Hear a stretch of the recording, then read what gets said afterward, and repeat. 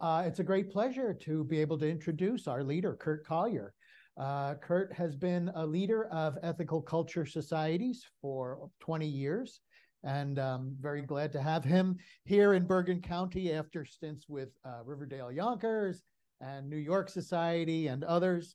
Um, he also, for 17 years, was the National Youth Programs Director for the United States Park Service, working with Groundworks USA, uh, and where he uh, helped bring that, those two important um, experiences uh, and skills together this past summer as we uh, supported a youth jobs program uh, that helped more than 20 young people get their training in construction and certification and also to uh, to make some money and do some good in the local parks. So, without further ado, uh, Curt Collier on how to raise an ethical child.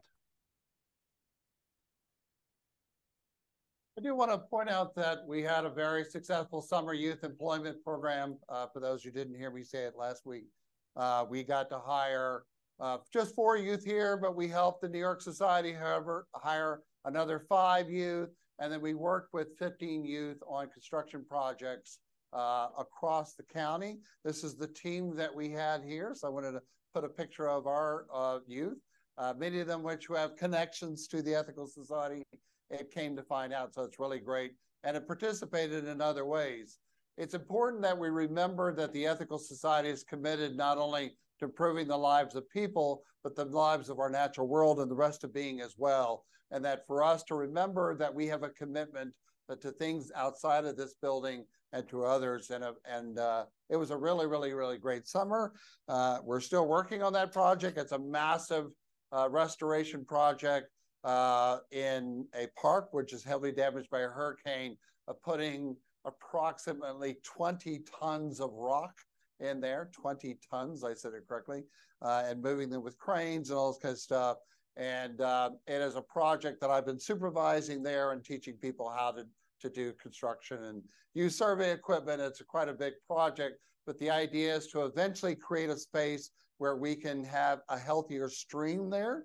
Um, the problem with that stream is like most urban streams in, in um, New Jersey, that particular heavily industrialized area has had a big impact. So we've been putting in more riffles, more oxygen, more construction, more waterfalls, and then more bank protection and all this stuff.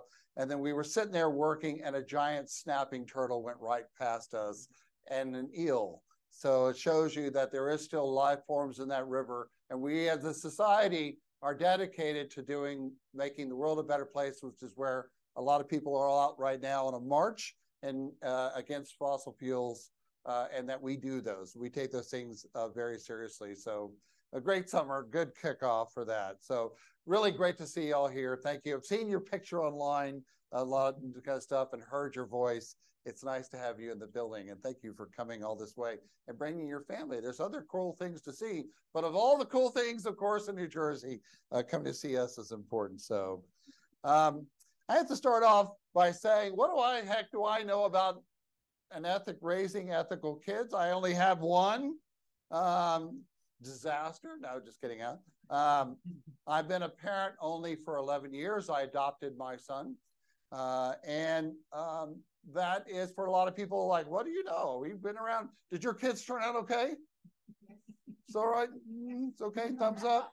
Yeah, they're here. So she's being, yeah, she's winking a lot at me, but I'm not sure what that is. Yeah, no, right. And some of you, right, kids, your kids turn out okay? Yeah, yeah, struggle. Yeah, yeah. My my father said he really tributes his child rearing abilities. This is my dad to Dr. Benjamin Spock, who wrote the book on child caring. He says it was just big enough and heavy enough to beat us with it successfully. so he said that's he used to tell that story all the time, and that was kind of their form of child rearing. Uh, I lived in the old school days where the morning would happen. My parents would kick us out the door, lock the door. We were then allowed to come back for lunch. We'd eat, then they would kick us out, lock the door. We could come back for supper, and then they kicked us out and locked the door. We could come back for bedtime. That was child rearing uh, in South Texas uh, for other until I was 30, somewhere around there. So, uh, yeah, it was a lot going on. I've, I've also had the the privilege and the honor to serving as the National Youth Program Director for the National Park Service and the EPA's program called Groundwork. And spent a lot of time traveling to a lot of communities, a lot of across the United States, working with some very intelligent people on how do we how do we use these talents of the national parks and of the EPA and all of our projects to help actually a better communities. That money started under the Obama administration. Luckily, see there, that's that's how you raise them right. Yeah. That's exactly it. Something as a prize, or she just doesn't want it. Yeah, that's right. Get rid of it. Yeah, I think that's that's the way it should be done. Uh, but that was a big question for us: is how do we use these assets, this money that we have, large amounts of money, large amount of funding, large of assets, to actually help uh, work on the next generation and, and make sure that they have the opportunities. And with that, I was able to bring in lots and lots of smart people, much smarter than I, who had spent years looking at these topics, and then they helped give me uh, their feedback as well. Um, and so I've learned a little bit about that. I've learned that from my own um, child, Andy. Uh, as some of you know, uh, I am a, a, a, gay father raising a gay son. And the great thing about that is that we have conversations about many things that other parents and families maybe not get to have. And so it's it's been a lot of big learning experience with me discussing what we call heteronormative behavior, the things that we decided to reject ourselves in our own lives and then thinking about then how should he live? How should i train him? What do i teach him? I have concerns as all parents do but we in the gay community and other places have something called jade do you know jade? We don't have to justify we don't have to argue about it we don't have to defend or explain anything of our behavior. You know we just talk about what it is that we are and how we want to be and make those choices. Uh, you can all use jade as well too. You don't have to justify it you don't have to argue about it. You don't have to defend it. You don't have to explain it. You can just be in the world and think about that. And i've learned a, a lot just in this conversations with him about ideas and opinions that impact my own way of looking at reality. We have so many youth today who come to me who are say they're gender fluid or have other uh, uh, choices, and to help them unpack what that means without also uh, all the other kinds of things that come with it from our societies, and of course, fears from the parents. I also have a Dominican son. Uh, Andy, when I first met him, didn't speak English. He spoke only a few words, uh, and my broken South Texas Spanish was a bit of a challenge for us.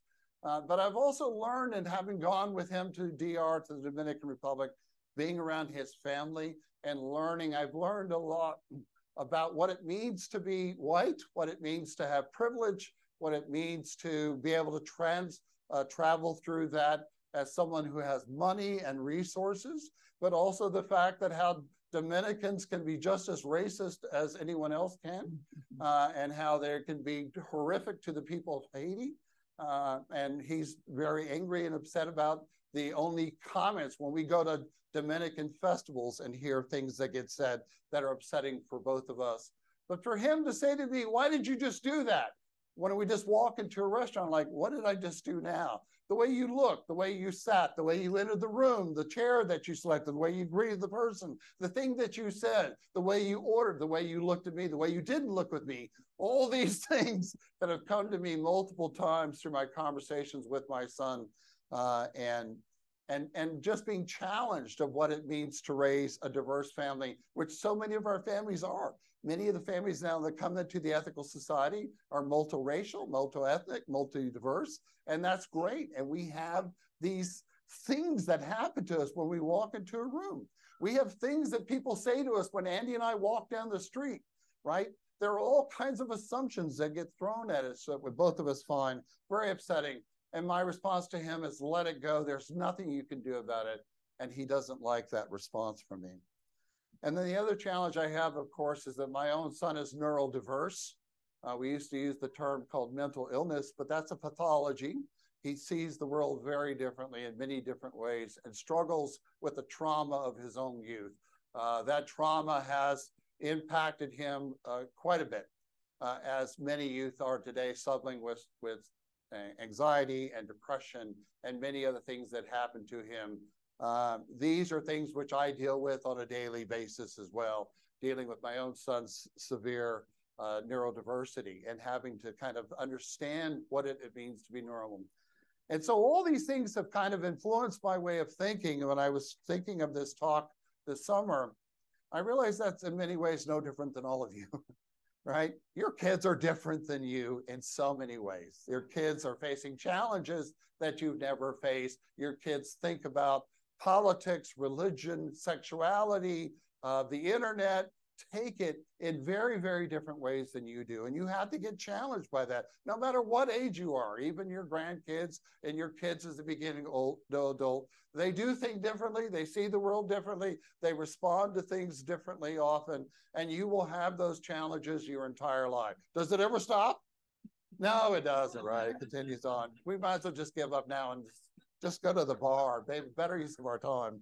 Um, but yeah, so it's things that happened to me in my 11 years of being a parent are things that happen to all of you to a certain extent and your own journey. Maybe more amplified to a certain extent, but it's the same conversations. And so, from all of this, all of these experiences that we have, and all the things I've thought about, how do I use the big funding assets to how do I greet my son in the morning?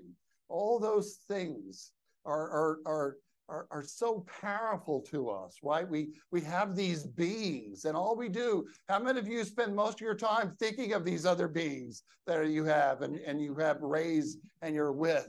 It's amazing how much energy and resources. Why would you breeders even do that? I don't understand that. I just think that's an awful thing. You shouldn't do that. Uh, but here we are, and we have these these these incredible opportunities and these experiences and these wonderful life forms in front of us. And um, we want them to be happy. We want them to be safe. We want them to exceed. We want them to do so many things. And um, that's all these things come together when you're a parent. And I think about with my brother and had conversations with him all the time about this. And and and their response, of, of course, is yeah, it's pain in the ass. That was their thing to me as how difficult it is. But you know, they love it, and all they do is their life is spent with their kids in certain ways. You know, one of the things we say in trauma informed community practices is a lot to have to do with how we treat kids anyway. So when we we deal a lot with uh, youth across the United States, often in much more dire circumstances and much more challenges. Uh, we have a problem in America. We we had this pandemic we paid a big price of that education. Are schools harder to be to deal with now? Kids in schools, right? We have increased levels of anxiety. We had uh, kids are just acting out. We've had increased levels of violence and the, these things that have happened. Everybody's already up here, and we're there. Just takes a little bit, and suddenly they're making rash decisions and doing all the things that youth do. Uh, and we have to kind of plan collectively as a community that we do have to rate, as they say, the old aphorism, it takes a village. It does take all of us to think about how we're going to raise children. And in trauma-informed community practices, when we're working with youth in a room, and I just saw this this weekend. Uh, I was at a construction site. I mean, uh, this week I was at a construction site supervising, um, and a group of youth came who were supposed to be a core. Now, when you say you're sending you, we're sending you the New Jersey State Corps. That's what they told me. I thought, wow, they're going to be in uniforms. They're going to know what they're going to do. I'm going to not have to not do, you know, I'm a safety officer for for OSHA. I can don't have to do my full explanation. And here they came in shorts, flip flops, and attitudes. I saw them coming across the bridge, and I'm down there with in the mud, about this deep of mud, and watching this guy bring over this big rock and deplace the rock and all this kind of stuff. And I go, oh boy, here we go again.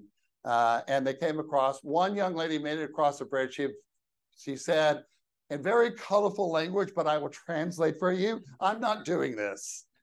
It was much more yeah. colorful than that. It was a much more creative way. And then she came up to the supervisor and said in her, I'll translate again, um, you're putting too much pressure on me. Please stop that. Uh, it didn't come quite like that. Um, and then uh, I discovered that this youth uh, were a workforce development crew who also came with numerous challenges. I could hear it in the voice behind me. I'm done having done this for 20 years, I already knew what was going on. And so trauma-informed community practices, we start with some basic things. Do those kids feel safe? First thing, right? First thing we do with parents, do they feel safe? And you know it's your own kids when they don't feel safe. They don't feel scared. And so the first thing is all new things. Sometimes I have to curate the experience, and you do too with your parent, with your kids. We spend time curating it, right? This is okay. You're gonna like this. This is what we're doing, and all this kind of stuff. And that's part of that to make them feel safe. Do they feel calm, right when they come in the door? Do they feel calm? And they have so much stressors put out there. Part of that is just bringing it down a bit sometimes, and you get really good at that, and it takes energy for you to do that stuff.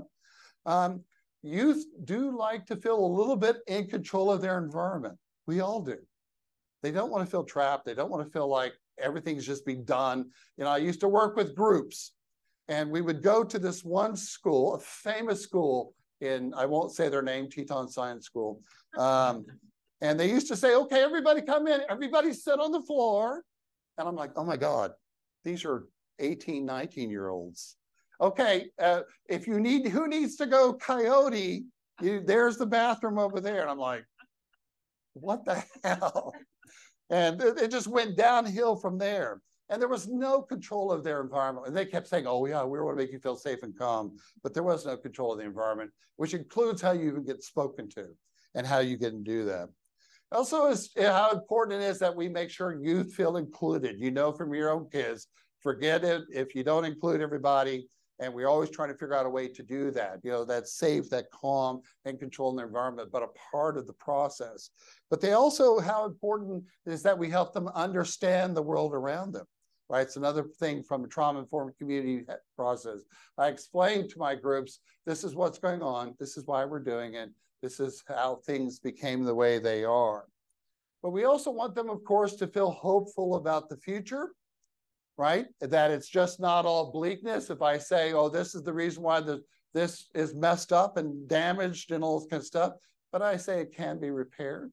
And so we, we give them that sense of hope that we often do with our youth because you know what it's like when a youth doesn't feel that. But and also importantly, a path to get there. How do you get to that vision of that? So that's what we do just for uh, working with groups of youth those things, trauma informed, right stuff. My initial thing is, I just look at, do they feel safe? Do they feel calm? Do they feel included? They do they feel some control in the environment? They understand what's going around them? Do they feel included in that process before I get to do anything else? That's kind of the first thing that just comes into my mind when I'm working with the youth and how important that is. So we have a lot of problems just to do that. And I'm going to get to the raising the moral child part, but just all these things that we have to do with just to make sure that we've created an environment, right? As teachers, you know that, right? We create an environment, a learning place where people can even hear what you have to say and those kinds of stuff. But we have so much problem because of something, and uh, we've come a long way since his work, but a guy named Erik Erikson, you may have heard his name, he wrote a famous book called Identity in the Life Cycle. And he showed many, many important things that youth go through. And we see patterns with youth around these. And one of them, of course, is when children are young, they want to be everything with you. They want to dress like you. They want to do the same things that you do until that magic age when you are everything they don't want to be. right? And that the challenge for them, according to Erikson, is that what's called the differentiation stage, is they're trying to figure out who they are. And everything you say to them feels smothering, right? Oh, I'm close enough. Drop me off here. I don't want to even see you dropping me off to school. Oh, yes, but it's still a mile away. That's close enough. Uh, I don't care if my friends see you. And that whole part about differentiation that we all have to go through to figure out who we are. And we struggle with our parents. First of all, they're going to push every single button you have to figure out what you believe is really real. I'm going to just throw it back at you. I'm going to watch everything that could be perceived as hypocrisy. I'm going to test those boundaries to discover what you're real. And then the second thing I'm going to do is I'm going to become uh, some my own self. And you do that, as you know, a very interesting way. The first way of becoming yourself is to dress like other people exactly like them who are not your parents, right? So you go into typical high school. I taught for many years. Uh, groundwork in high schools, the science program, and we see the same groups in schools, right? They're the the jockeys kind of like that, and then the the gothic, the theater kids, and you know all these things, and they they wear this identity. They put these things onto them, and that's the differentiation stage. I want to be something different, especially if it's completely different from my parents. I want to be this thing, uh, but uh, but I, I, I don't know who it is or what I want to be in. And that struggle, that differentiation stage, what a struggle that is in most families, right? Especially when we put so many other societal pressures, like on young ladies. And the young ladies and what you're supposed to be and how you're supposed to be, and, and they're trying to go through the differentiation stage. And the next thing, dad's taking the front door off uh, of the bedroom, right? How many people have done that? And that's not a good choice. My own brother, if he watches this, you, yeah, this is an interesting choice. Um, but just the struggle through differentiation, and you could see that because they want to, and then they look back over their shoulder just to make sure you're still there. And that what a struggle that whole process is. Because the other problem we have is that so much of our reasoning, so much of how we figure things out is dependent upon a fully functional prefrontal cortex Antonio Damasio said, right? We need this, this emotional regulation part of our brain. When I was a kid, I wanted to be Spock. I wanted to think about, I don't need my emotions. You know, it was hard for me being a closeted kid in South Texas. I knew that if I could squash my emotional side, then maybe then I, you know, could just be reasonable and those kind of stuff. And we like that, right? So it's something very attractive until this Italian neuroscientist said, no, everybody who has damage to their free prefrontal cortex does terrible decision making. We need our emotions. We are emotional creatures. Our capacity to reason is dependent on whether or not we have fully functioning emotions. And we have to be in touch and immune with them. Guess who doesn't have a fully functioning emotional regulator? Teenagers, right? They're like brain damaged already. And, and so they don't have this this capacity that helps them to reason. And so we see them acting in ways that we go, wow, that's pretty interesting choice. That's what you say when you're an ethical cultural leader. That's an interesting choice that you made there. Um, what you're able to say is like, man, that was pretty stupid, but that, right? Because there it goes. So we just look at them and say, that's an interesting choice. And I'm I'm sitting there as someone who who's who's had some very smart people train me is understanding that yeah there this emotional dysregulation is still going on uh, and it may not be fully formed at what age what age does this fully 25 yeah very good we're crazy until we're 25 think about that yeah longer than that I've had mine surgically removed. Uh, and so, yeah, it screws us all up. We, we, youth make these very, but for us, are very emotional things. And the scariest thing to do is to be sometimes supportive of that craziness. I get you. I understand. I hear you. It's not really quite what I choices I had to make, but I understand that you're still going through this thing that we're helping you to do, uh, to do that. So we have all these problems that we have. So how do you then raise a moral child and all those things? This crazy pressures, all this world, all these things are happening the prefrontal cortex not being developed. You know, there was a guy named William Bennett who worked under the Bush administration who said, you know what we need to do is we need to go back to basics. He wrote a book uh, on this and he says, we just need Aesop's fables. And here we go. You, you eat too many of this and you get sick to your stomach. You, you, you cheat someone and keep yelling the, you know, the sky's falling and things like that stuff. And he wrote a whole book about it. It's a terrible book from my perspective. Absolutely terrible book. Sorry. Linda Bennett. Wait, wait, let's put this on tape. Yes. My wife and I uh, sent his book to um, her brother because it was about education and the last name was Bennett. Because, Bennett, Linda Bennett's daughter. So yeah, um, so you bring that up, yeah, it was very much. Yeah,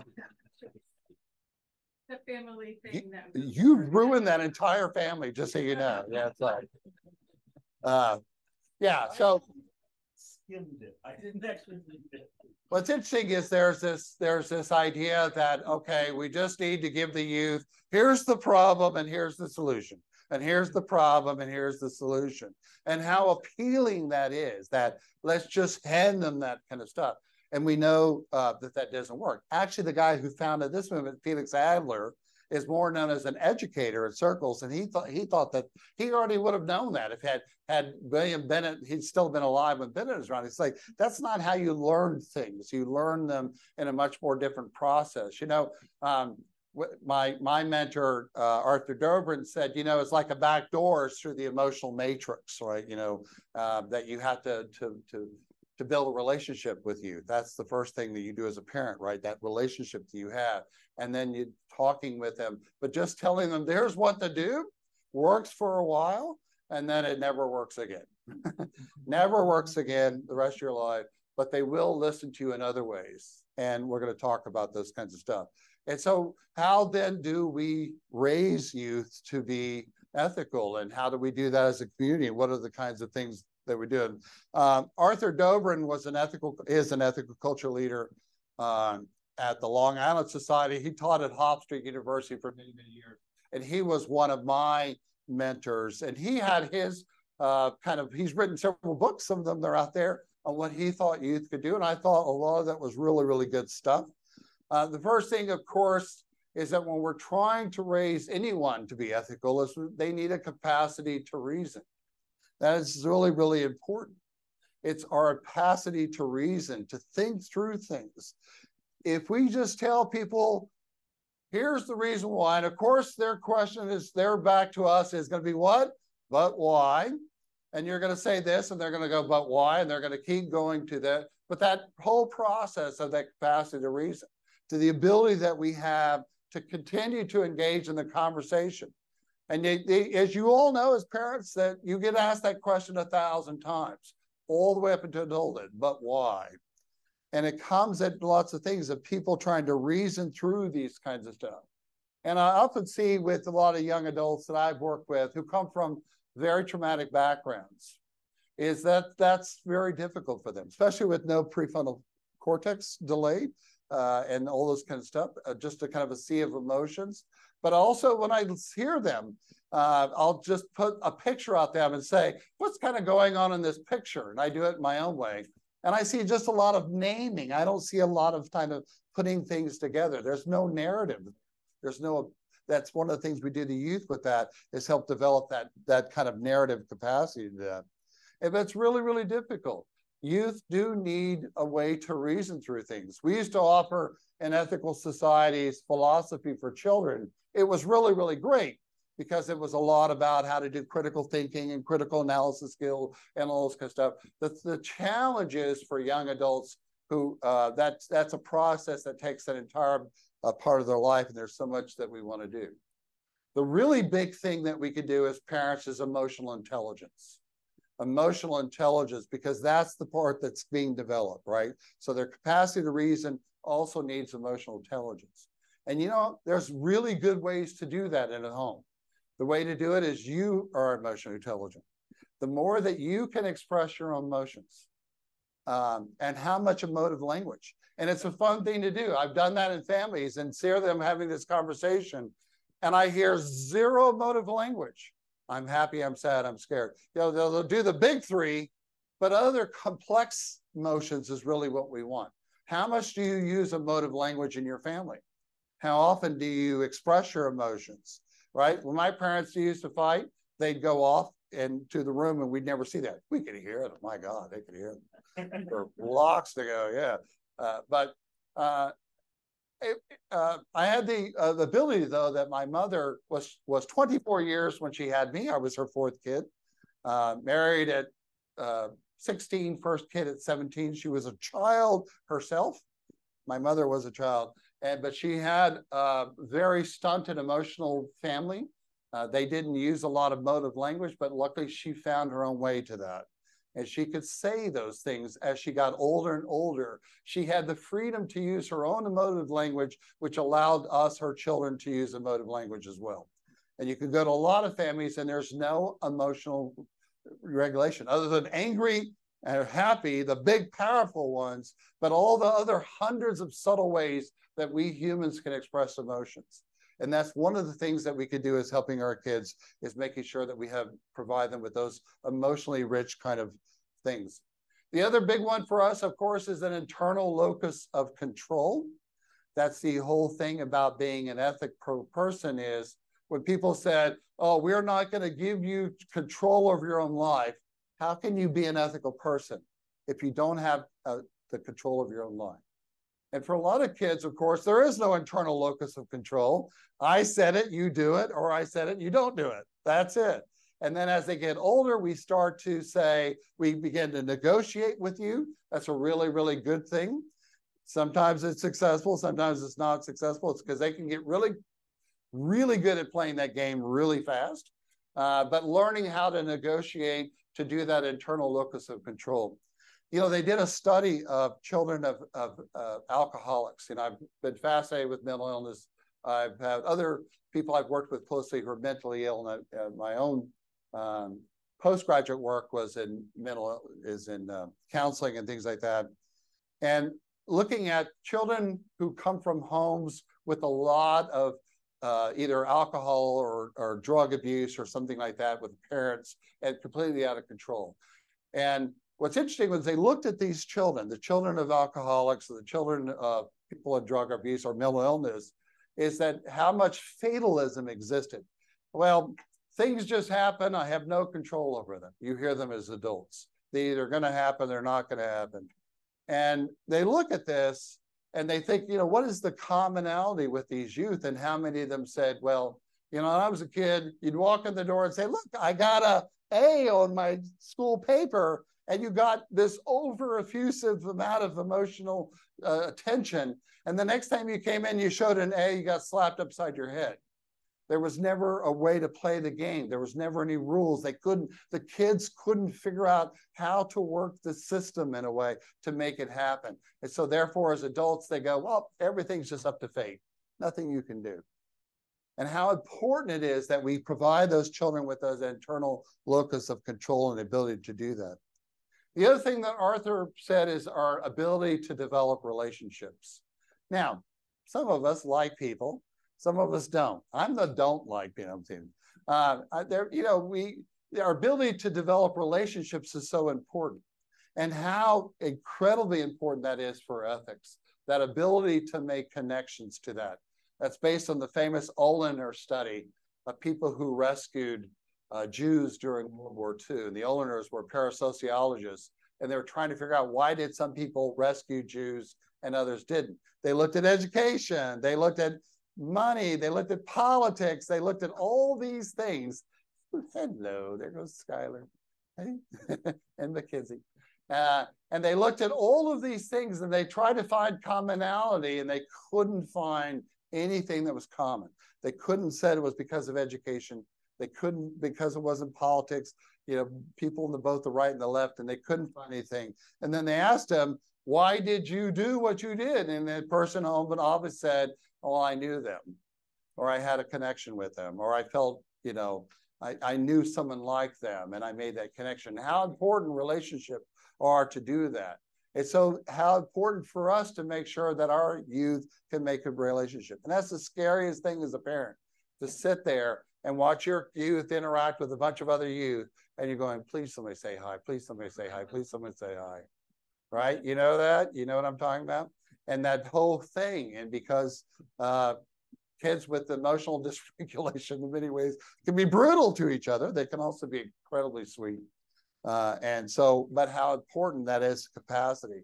And we need to continue to work on that our whole lives. Yes this is what it means to be a friend because i'm a friend and i'm doing this stuff and that goes saying when we say community relationships, we also mean participation in community. How important that the youth are running in out of the door, having some orange juice. Yeah. Uh, put you on the spot there. And, but just to feel like, yeah, you're part of something, you can come in and feel welcome and get, you know, have this connection and feel like you're engaged. And a lot of parents aren't doing that anymore, right? The number of people who are joining communities is plummeting in the United States. Is it true? Are people community based over in Holland or is it happening there as well? Yeah, but in the United States, it's almost like a an epidemic of people dropping out of communities. And therefore, we're just joining people who look only exactly like us and have part of that. The other thing is the reciprocity, and that's the hardest thing for you to get is I give something to you or I do something, you had to give it back. That's a hard one. That takes a lot of years to develop even in adults. And that's why it's important when you're a member of a community that goes apple picking and then talks about these things and makes the applesauce and then give those backs and raise those kind of stuff. And the final thing Arthur said was how important it is the habit of action. You know, they did a study of all these people who went into soup kitchens. I told you the story before, and they want to know what makes people volunteer. And I don't mean we come in with a little bit of liberal guilt. I'm there for a few hours and then I go, this is okay. We're going to go do something else. And then they're gone. And they never come back again. We're talking about those people you met who volunteered in the same place for 20 years and who did that. And they'd go and they'd look at those people like, okay, what is the magic? Why are you there? Why have you done this for a long time? They go, oh my God, my parents used to drag me out to these stupid social action projects, or I had to mow the darn grass of the old lady next door. I hated it. But that habit of action and how important that is because as adults some of us go well this is just what you do right i was luckily raised in a in a household uh, that didn't do too much that because we lived out in the country alone from others but they my parents were constantly trying to create other kinds of ways that we were supposed to help out and get involved and do that and how important those things so those kind of things are what Arthur saw, uh, uh, their capacity to reason, their emotional intelligence, an internal locus of control, the ability to develop and foster relationships, the comfort with diverse community, building reciprocity and habit of action. He thought those things all played a crucial role. And to a certain extent, I totally, absolutely agree with him how important that is. We create this learning circle. So before y'all came in here, we had another group in here. And that group uh, that's what we try to do is just talk about what does it mean to be a member of the community. So they they do their own little build community activity. Then we do something around names so we can do that. We'll do something around fostering relationships or on emotional intelligence or we'll plan events and activities where they go and actually do kind of stuff. We'll point out the needs for diversity and also thinking about the world outside the door how important that is for them so these are all important things. The only thing I said to Arthur is, is I believe that it's just that for us to decide what does it mean to be ethics? What does it mean to be an ethical person? That's going to vary quite a bit. And the truth is, a lot of times what we think of as ethical are actually personality traits. Oh, you waste too much time. Oh, you don't enjoy life enough. Or you uh, you should you should spend for the future or you should live for the moment or you should do these things. And you're listening to those go those are personality differences? Is that really an ethics? And a lot of what we say about what children should do i hear these these conservative people often speaking about what they do and i go no that's what you like to do. This is how you are. This is where your comfort level is that's what I really hear you're saying. And what you're saying is to those kids is you should be exactly that way. And those are really just personality differences. And and how much of it is that? If I get to what I think of what a, what is ethics for me, and what does it mean to be a good person about that?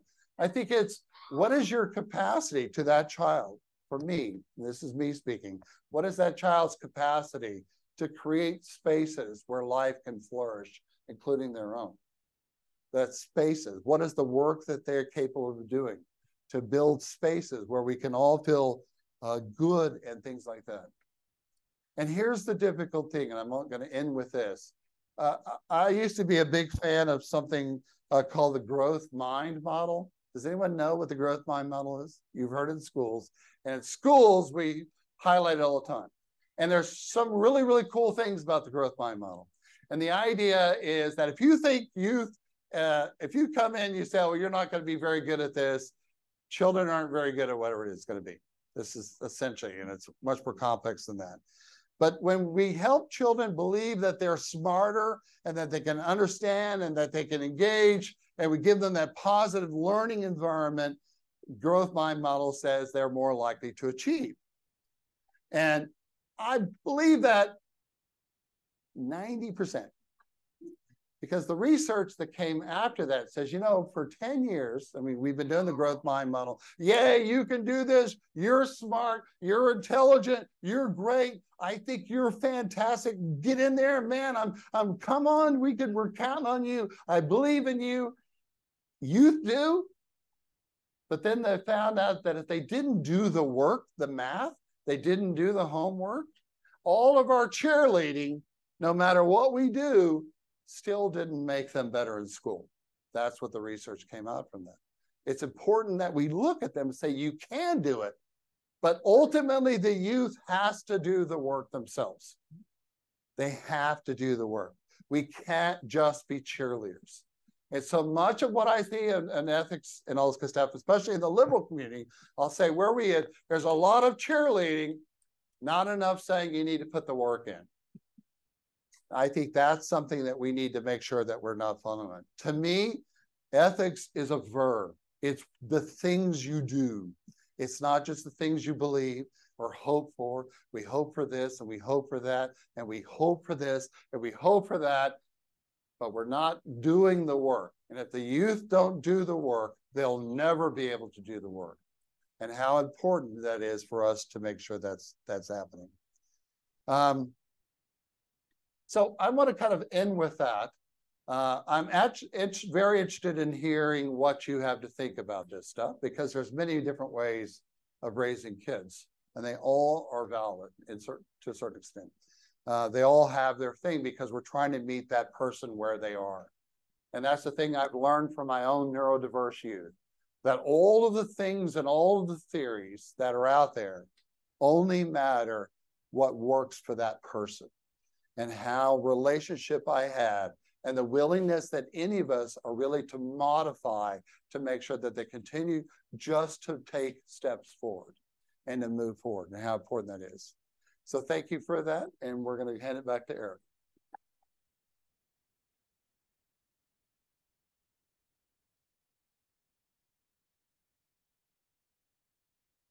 Thank you so much, Curt. Really very uh, lively and insightful and um, it, it, gave me some pause and some uh, maybe a little nostalgia. My son is uh, 19 now, and so he's sort of. It, it's always a transition phase, I think, but you know this is an interesting transition phase to see him in, and to hear some of the your your points and to reflect upon them. And I also want to say how happy I am to hear a happy gurgling baby in our midst again. Thank you, Rhiannon, who's uh, here from visiting us from the uh, Westchester uh, Ethical Society for this program today. And it's been since my son was one year old, which he was when we joined, um, and he would sit in the back uh, and be that happy gurgling baby. So it's really it's a pleasure and a, and a joy, and gives me happy memories to think of that. Um, so without further ado, uh, I thank you, Curt, again for your comments. Uh, I don't know, do you want to have uh, any colloquial time here for? Have an update for resignations for people to say Good. they're all getting stuff, not missing. Great, and I don't know what happened to our microphone. It's to my right. Here it is. Thank you. Uh, and so, yes, I, I, I would like to open it up and invite uh, people to share any uh, resonation that it has for them, that Curt's uh, comments have had for them. So please feel free. Or Thank you. things to add. Or things to add. Thank you. Go ahead, Sam. Thank you. I thought that was really a fantastic talk. And uh, I just wanted to say, like, so uh, we ended up in a very bizarre situation with a family who I will say is unethical. And we kept getting into situations that we found extremely challenging. I'll give you one example because it was a tiny moment, but it still sticks with me. We went apple picking, and there was um like a area of the apple orchard that was cordoned off because they didn't want you to go there. And the mother said, and climbed over the line, and I followed her. and we picked the apples from the area that they had cordoned off. And it still, I mean, that was like 10 years ago. And it still bugs me because it was this tiny little moment. But with this family, there were tons of these tiny little moments that we would have to then, uh, our daughter would go to the house. She'd come to our house and we'd be, oh, no, that's not true. No, no, that's not the way we think about the world. No, we don't believe that. And it forced us to identify and push back on a lot of things. And that's just a tiny example. But I believe my mom, a lot of you know my mom, really um, took pride in leading by example. And I feel like that's a responsibility that we have too. So there. Thank you so much, Sam. Jerry, go ahead, and then we'll take a couple from Zoom. I grew up with ethical culture. I know what ethical culture can mean to young people, particularly teenagers. I don't see anything close to it now. And when I have some time or you have some time, I'd like to share the experiences that I had uh, being involved in ethical culture. I'll just very quickly say it was a group of teenagers with some extraordinary adults, but the bottom line is we did everything. The adults stayed in the background in case you know you're going to get something that's dangerous. We never did, and we uh, I got to as president of, of, the youth group. I got to select the topics for our, our in, um, overnight uh, Hudson Guild adventures. Now I'll tell you the two topics that we dealt with uh, in my era was sex and the other one was loneliness. Both very powerful, which most people would die away from, but teenagers got involved in it immediately. So maybe sometime in the near future, I can share that experience because unlike when I do, sometimes people say, we can't do it. The world has changed. Well, freak it. We have control of the world we have at least control over our own lives, and we can't give that control away the way we're doing right now. Thank you, Jerry. Fortunately, the world has not changed so much that teenagers don't still concern themselves about sex and loneliness.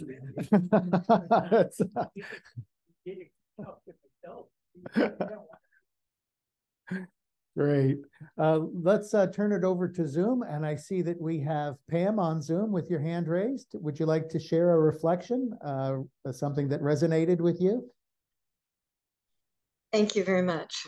This was a really important program for me this morning because I have a grandson who's 13 years old.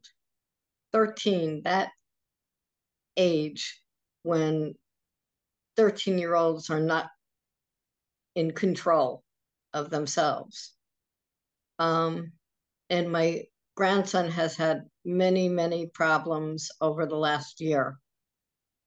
But my daughter has seeked out help for him, and he is finally coming around.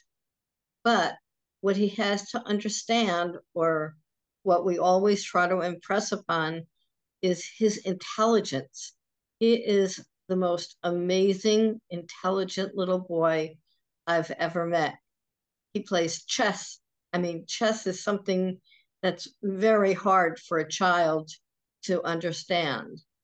His background in mathematics and his love for math and computers has really helped him deliver excellent potential and now he has finally realized I am going to do well in school this year and I'm going to do all my homework and all the things I need to do to do well. So please help me impress upon my grandson to do well this year and anything that I can do to help him ethically will be my pleasure.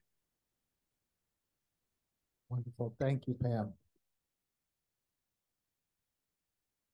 Susan, I see uh, your hand is raised. Yep, thank you. Uh, something that resonated with me that as you were speaking, Curt, was about the focus on relationships. I think that, uh, you know, we're kind of uh, where the situation is in the world today, and certainly in America, that the polar um, aspect of of where we are, we don't know how to talk to each other anymore about controversial items being on on one side or the other. And I think it really, uh, if we're going to change this, we've got to change it at at the um, child level and start teaching how to talk when uh, we don't always agree and how do we have meaningful conversations and that just deepens relationships so um i i see uh, a bright future hopefully for our kids thank you Thank you, Susan. Anyone else? Come back to the room. Anyone else care to care to share a reflection uh, or a resonation from Curt's talk today? None in the room. Anyone else on Zoom? i see no other hands All right. Well, thank you all so much for uh, joining us, and thank you again, Curt, for your very inspiring, informative talk. Um, really uh, useful and uplifting. To learn more about us, visit our website, ethicalfocus.org, or email us at admin at ethicalfocus.org and we'll get back to you.